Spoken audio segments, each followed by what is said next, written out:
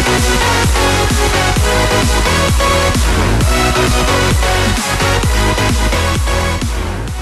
llamado para todos aquellos que estén en las redes sociales, compartan y comenten cada una de las participaciones de nuestros invitados. Recuerda que también nos puedes marcar al 823360 y 826288, la nueva modalidad de comunicación, el WhatsApp 618-233-7121. Ya mándanos tu mensajito, hombre. Oye, a continuación te presento al licenciado Omar Carrasco. Él viene a platicarnos sobre la campaña No Seas Falso 911, que está espectacular y obviamente le doy la bienvenida y agradezco que esté aquí con nosotros. ¿Cómo estamos, licenciado? Gracias, muy bien, muchas gracias por, por la invitación, gracias a Canal 12 por abrirnos la puerta. Muy bien. Campaña No Seas Falso 911, ¿de dónde surge y por qué? Bueno, así es, eh, com- como, todos los televidentes saben, a partir del 3 de octubre inicia el número de emergencia 911 en nuestro estado. Es un número de emergencia que concentra todos los números de emergencia que ya existían anteriormente y los concentramos en un número eh, de emergencia como tal, que es el 911. Ahí tenemos en la plataforma desde eh, corporaciones como la PIT, como la Policía Estatal, como la Policía Municipal, Bomberos, Cruz Roja, eh, Sedena, PGR, y de de ahí de una otra manera concentramos toda la llamada de emergencia, ¿no? Entonces, desafortunadamente nos dimos cuenta de que el número de llamadas en broma era muy alto, es decir, 83%, 8 de cada 10 llamadas al 911 eran llamadas falsas o de broma, y otro 1% eran llamadas para pedir informes que no tenían nada que ver con una emergencia, ¿no? Entonces, por eso nos dimos a la tarea de sacar este tipo de campañas. Ok, y por ejemplo, todas ese tipo de llamadas que ocupan el 1% pidiendo información sobre dirección, me imagino, o todo este tipo de situaciones, ¿a dónde se pueden comunicar para que ya no ocupen un espacio que tal vez pueden estar aprovechando el 911? Claro, eh, tien- tienen que ser muy conscientes y determinar qué es, qué es realmente una emergencia. Tenemos que ser conscientes de la ciudadanía, de saber lo que es una emergencia.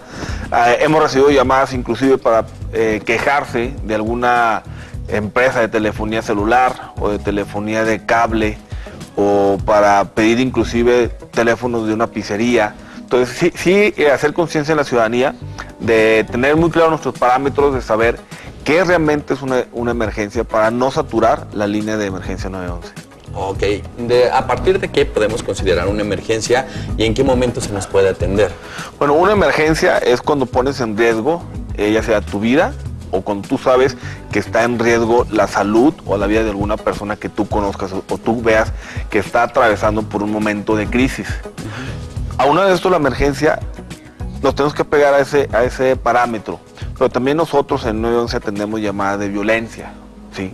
Entonces, sí hacer este, hincapié con la ciudadanía de que las llamadas en broma o las llamadas para pedir informes eh, sin ninguna eh, línea eh, clara o, de, saber realmente lo que es la emergencia nos perjudica a todos, porque posiblemente mientras yo esté jugando con el teléfono, eh, con el número 911, estemos eh, dejando de atender a una persona que pueda tener realmente una emergencia.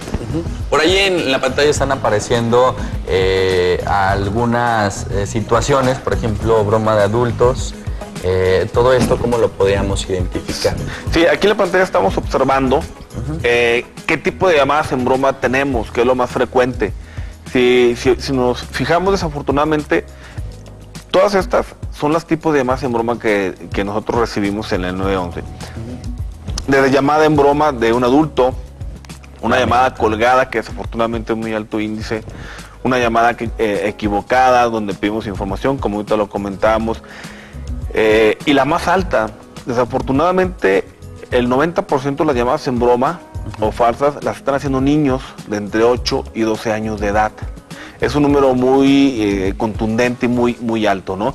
Y ahí vemos otro tipo de llamadas como transferencias a otras dependencias, un tema de eh, eh, vial, de policía vial, o usuarios identificados que molestan constantemente, ¿no? Ok, esto me imagino que es por la inconsciencia, inconsciencia también de los adultos, porque aparte de que ellos también lo pueden estar haciendo, eh, no ven o no les ponen un alto a sus niños que también estén pudiendo tener algún acceso al celular para hacer este tipo de bromas, ¿no? Claro, desafortunadamente creo que la, la tecnología es, es algo que esta generación estamos viviendo muy fuerte y estamos teniendo acceso a diferentes formas de comunicación. En la telefonía celular creo que hoy en día un teléfono inteligente, gran parte de nuestra sociedad tiene.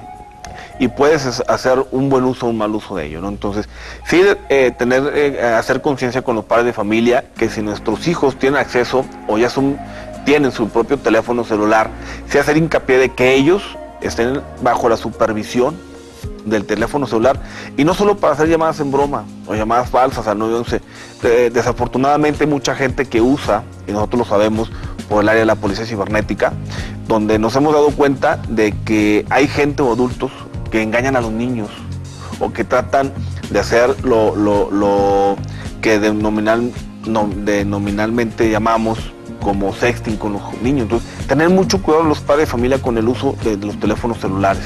Ok, ahí también estamos viendo otra modalidad que es la, eh, llamada colgada. Eh, hay algunas personas que realmente están haciendo alguna denuncia, pero que se desesperan, ¿no? Porque el protocolo de preguntas sobre eh, saber qué es lo que está pasando, por qué situación está, dónde está y todo esto, obviamente es un protocolo para llevar una medida de seguridad bien establecida, ¿no?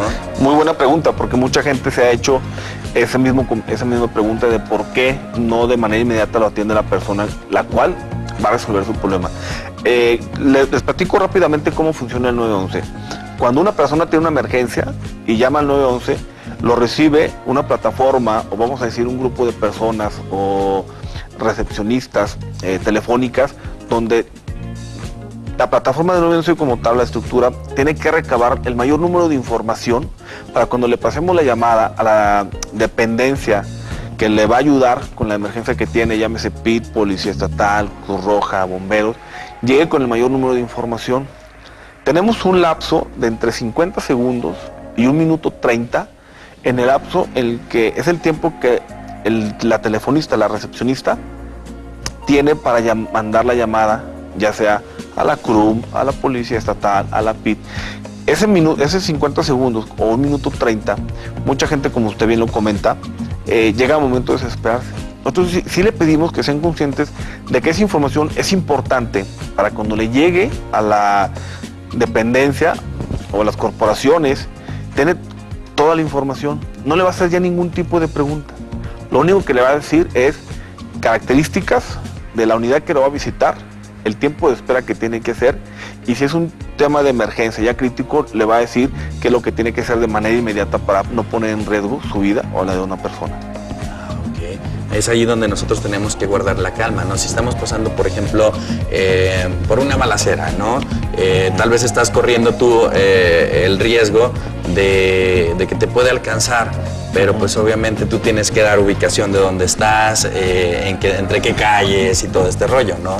Exacto, llega un momento de crisis que es muy entendible, creo que cualquier persona que, que podamos atravesar por este tipo de circunstancias es muy complicado. Tú comentabas una circunstancia de una balacera, que afortunadamente tenemos ya eh, algunos años que no sean ese tipo de acciones, pero vamos a ver un accidente donde tú ves posiblemente que hay una persona herida que posiblemente le pueda costar eh, su vida. Entonces tú entras en un momento de crisis porque eh, humanamente lo quieres salvar y tú hablas al número de emergencia y los segundos se te hacen eternos, ¿no? Entonces te piden de, tu nombre, de si conoces a la víctima, de las entrecalles, de si respira, si tiene pulso, si no tiene pulso, si tiene la mirada perdida. Y toda esta información es, la recabamos, la mandamos inmediatamente, repito, entre 50 segundos y un minuto 30 a la corporación que lo va a atender. Y de esta forma, cuando le llega la información vía digital, tiene toda la información.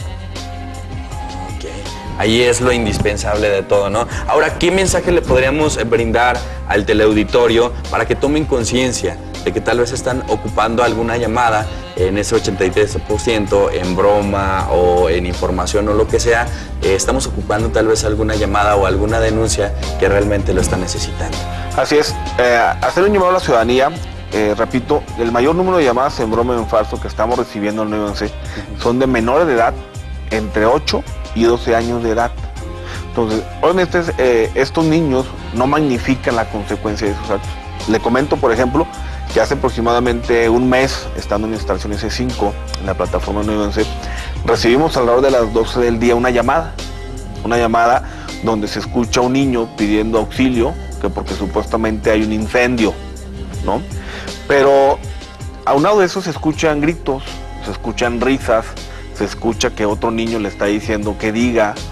Entonces, aparentemente están dentro de una institución educativa. Entonces, sí pedir a los padres de familia que hagamos conciencia de esto. El más perjudicado o el más beneficiado de que hay un buen servicio de 911 es la ciudadanía. Al fin y al cabo, si tú hablas y realmente tienes una emergencia, tú vas a ser el primer beneficiario en que te atienden de manera inmediata. Estadísticamente estamos atendiendo aproximadamente 200 mil llamadas por mes aproximadamente, ¿no?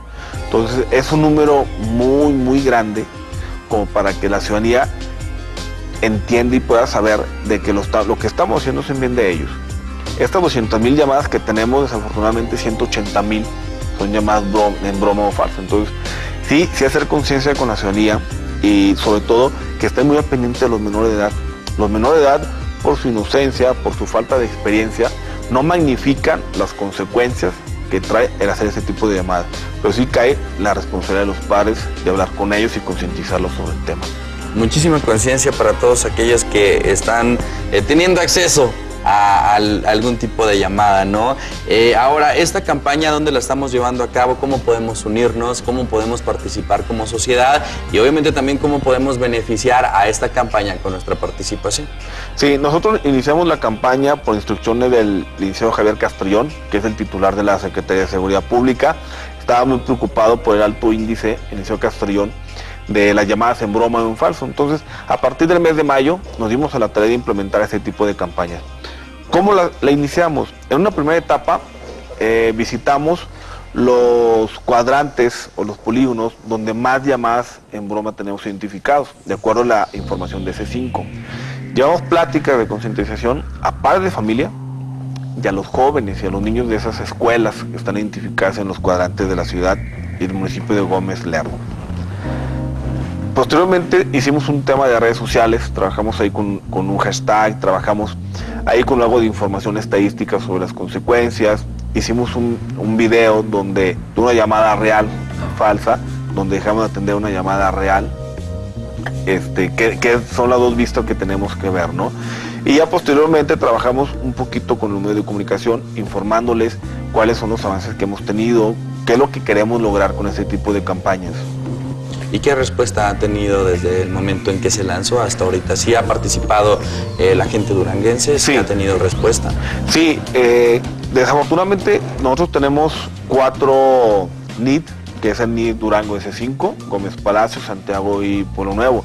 Desafortunadamente creo que nos falta y es una gran área de oportunidad que tenemos es Pueblo Nuevo, donde seguimos teniendo un alto índice de llamadas en broma y en falso. En Durango eh, creo que vamos a bajar aproximadamente un 6-7% de las llamadas en la capital, pero sí el, reto que tenemos es, es, es la parte del Salto Pueblo Nuevo. Ok. Muy bien, entonces ahí está la información. Esperemos que este porcentaje suba positivamente y que ese 83% desaparezca, ¿no? Y sea cada vez mucho menos. Muchísimas gracias por esta información, licenciado. Es un honor tenerlo aquí con nosotros. Y luego, bueno, ahí esperemos que en casita no sean falsos y se unan a esta campaña 911.